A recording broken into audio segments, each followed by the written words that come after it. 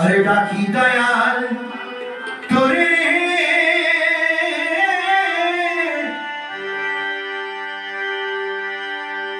ও মুর্শিদ দেখা দেওয়া শিনারে আরে কবির হবে তোর সাথে মিলনি রে দয়া আরে কোনদিন হবে তোর সাথে आशा